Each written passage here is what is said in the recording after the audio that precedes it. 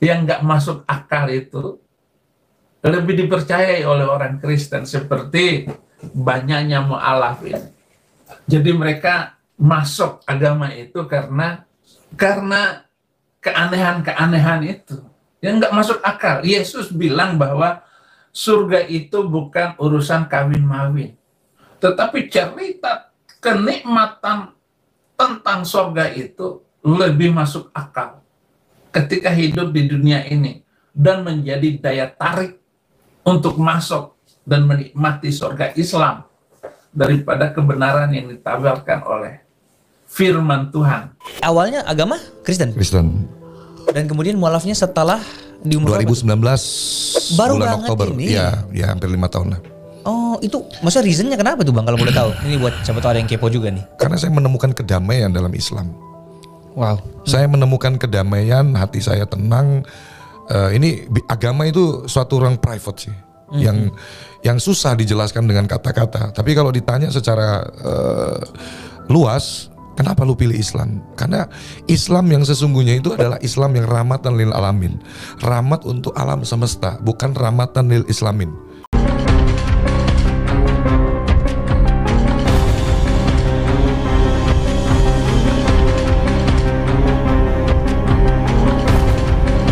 Assalamualaikum warahmatullahi wabarakatuh. Sahabat beriman berjumpa kembali di Bintang Mu'alaf Channel. Mudah-mudahan kita semua selalu sehat walafiat Di dalam lindungan Allah subhanahu wa ta'ala. Salam satu Tuhan, Allahu Akbar. Sahabat pernahkah kalian mendengar tentang sosok dari John LBF ya John LBF ini dikenal sangat dermawan ya Suka bagi-bagi HP, bagi-bagi uang bagi-bagi motor dan lain sebagainya. Dasarnya ini adalah orang kaya raya, banyak harta, hartanya berlimpah, makanya dia sangat dermawan. Tetapi ada sesuatu di balik dari kepribadian John LBF ini. Ternyata beliau adalah seorang mualaf. Nah, teman-teman, faktor apakah yang membuat John LBF ini masuk Islam? Oke, nanti kita akan tampilkan cuplikan videonya. Tetapi sebelumnya mari kita simak terlebih dahulu sebuah curhatan, sebuah asumsi dan juga sebuah tangisan dari Saifuddin Ibrahim ya. Iming-iming masuk surga seperti yang ditawarkan itu tidur dengan 72 bidadari lebih menarik hal-hal yang eh, rohani seperti yang ditarik yang dididik diajarkan oleh agama-agama lain. Itu lebih lebih menarik keyakinan itu. Dan yang paling menarik perhatian adalah tidur dengan 72 bidadari ini. Ini lebih masuk akal dan lebih banyak pengikut masuk ke dalam keyakinan itu gara-gara penawaran 72 bidadari. Maka banyak orang Kristen mu'alaf. Dan mereka-mereka ini bukan saja membicarakan kekristenan dan membicarakan Alkitabnya, tetapi mereka membongkar.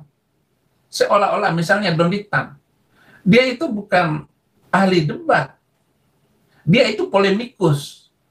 Jadi cari ayat-ayat Korona ini dia dia dia paham cara mengertinya, tetapi sengaja dia kontradiksikan dengan otaknya, dengan cara berpikir dia dan dengan uh, model logika konyol.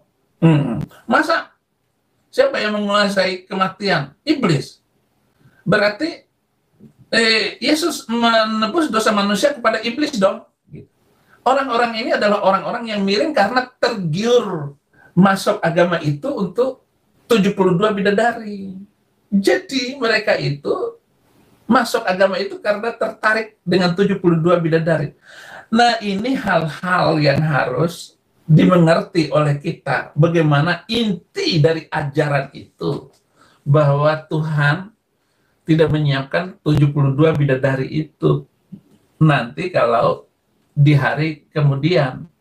Ya, Saifuddin Ibrahim tidak usah ngiri dengan surga Islam seperti apa yang Anda katakan ya, surga 72 bidadari itu masih kalah jauh masih kalah jika dibandingkan dengan uh, benarkah Yesus berjanji akan memberikan 100 wanita, 100 istri kepada para pengikutnya di surga nanti.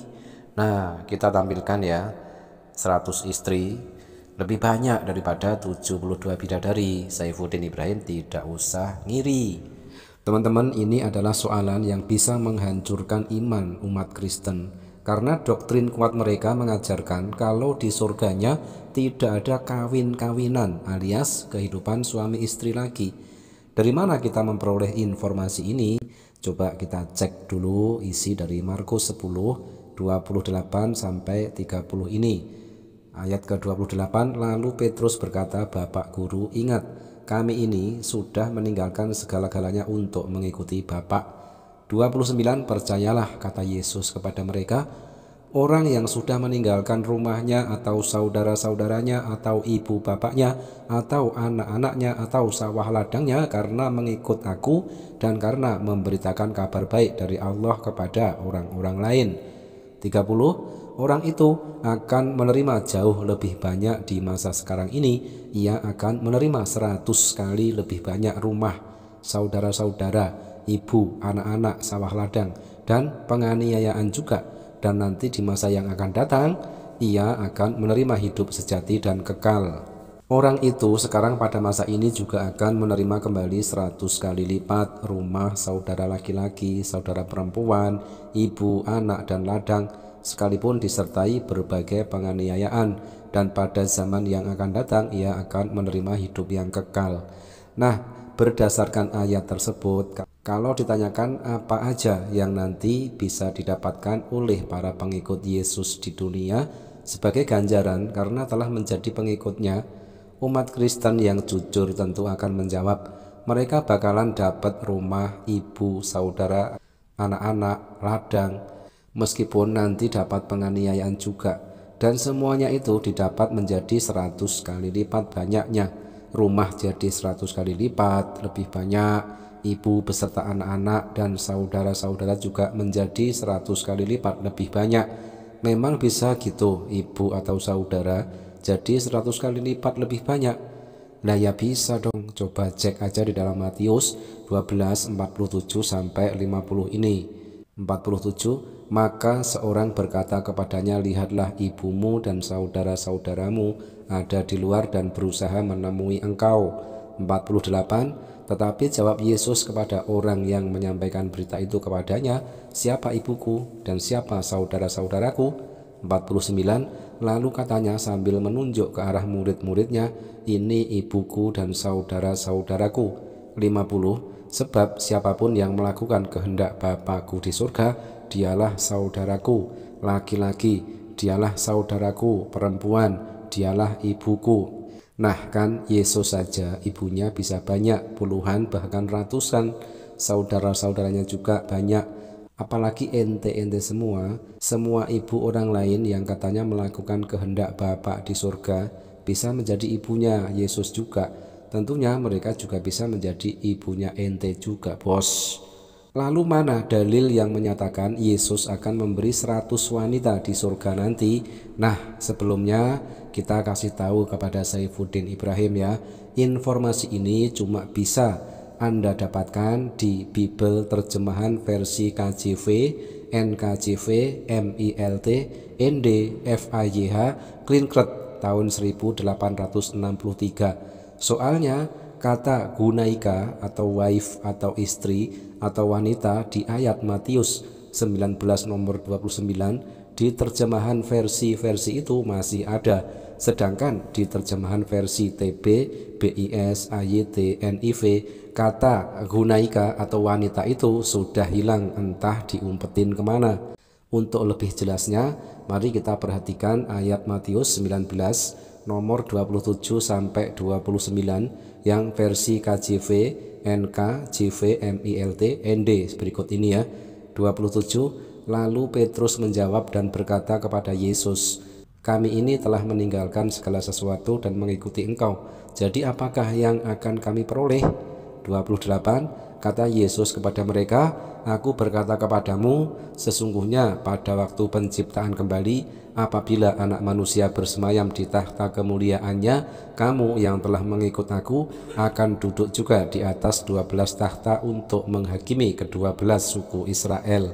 29 MILT dan setiap orang yang sudah meninggalkan rumah atau saudara laki-laki atau saudara perempuan atau ayah atau ibu atau istri atau anak atau ladang demi namaku ia akan menerima 100 kali lipat dan akan mewarisi hidup kekal 29 FAYH siapa pun yang meninggalkan rumahnya saudara laki-lakinya saudara perempuannya ayahnya ibunya, istrinya, anak-anaknya, atau harta bendanya untuk mengikut aku, maka ia akan menerima seratus kali lipat dan akan mendapat hidup yang kekal. 29 KJV and everyone that had forsaken house or brethren or sisters or father or mother or wife or children or lands for my name's sake shall receive an hundredfold and shall inherit everlasting life. 29 SB 2010 ia akan mendapatkannya kembali 100 kali lipat serta akan mewarisi hidup yang kekal Nah teman-teman berdasarkan ayat-ayat tadi kalau ditanyakan apa yang nanti akan didapatkan kembali oleh umat Kristen di surga mereka yang jujur tentu akan menjawab rumah, saudara laki-laki, saudara perempuan, ayah, ibu, dan istri. Berhubung semua akan ditambah menjadi 100 kali lipat maka rumahnya jadi 100 kali lipat lebih banyak. Saudara-saudaranya menjadi 100 kali lipat lebih banyak. Ibunya jadi 100 kali lipat lebih banyak ayahnya jadi 100 kali lipat lebih banyak, ladangnya jadi 100 kali lipat lebih banyak dan Hunaika atau istri atau wanitanya akan jadi 100 kali lipat lebih banyak juga. Wow.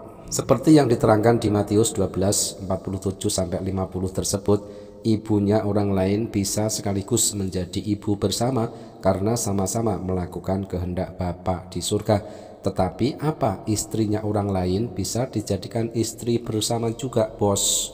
Nah Saifuddin Ibrahim Peluku Suntur silahkan jawab ya. Tidak usah ngiri dengan 72 bidadari di surga Anda. Ternyata mendapatkan ganti 100 kali lipat 100 istri lebih banyak daripada 72 bidadari. Tetapi itu lebih menarik saudara-saudara Daripada pahala yang lain. Sehingga banyak muslim ini bertambah penduduknya, bertambah jiwanya karena satu keganasan yang dilakukannya, yang kedua ajaran-ajaran yang nggak masuk akal itu lebih dipercayai oleh orang Kristen. Seperti banyaknya mu'alaf ini. Jadi mereka masuk agama itu karena karena keanehan-keanehan itu yang nggak masuk akal. Yesus bilang bahwa surga itu bukan urusan kawin-mawin. Tetapi cerita kenikmatan tentang surga itu lebih masuk akal. Ketika hidup di dunia ini dan menjadi daya tarik untuk masuk dan menikmati surga Islam daripada kebenaran yang ditawarkan oleh firman Tuhan Nggak usah, saudara-saudara nggak usah masuk Kristen. Di Kristen aja banyak penipu. Awalnya agama Kristen. Kristen. Dan kemudian mualafnya setelah di umur 2019 Baru bulan banget Oktober. ini. Ya, ya hampir lima tahun lah. Oh itu maksudnya reasonnya kenapa tuh bang kalau boleh tahu? Ini buat siapa tahu ada yang kepo juga nih. Karena saya menemukan kedamaian dalam Islam. Wow. Saya menemukan kedamaian, hati saya tenang. Eh, ini agama itu suatu orang private sih, yang yang susah dijelaskan dengan kata-kata. Tapi kalau ditanya secara eh, luas, kenapa lu pilih Islam? Karena Islam yang sesungguhnya itu adalah Islam yang rahmatan lil alamin, rahmat untuk alam semesta, bukan rahmatan lil islamin. Saya bangga mu'alaf ya Itu adalah sebuah statement dari John LBF Yang mana John LBF ini masuk Islam tahun 2019 Statement tadi saya dapatkan dari channel Samuel Chris ya Yang mampu membungkam tuduhan ngawur dari Saifuddin Ibrahim Yang hanya keluar-keluar tanpa bukti Tetapi dibungkam di sini oleh sang mu'alaf sendiri Yang mana sang mu'alaf John LBF ini masuk Islam karena menemukan kedamaian di dalam agama Islam. Islam rahmatan lil alamin. Islam adalah rahmat bagi semesta alam. Oke sahabat terima kasih demikian hiburan dari Saifuddin Ibrahim. Mudah-mudahan terhibur. Jazakumullah khairan kasiron. Wassalamualaikum warahmatullahi wabarakatuh.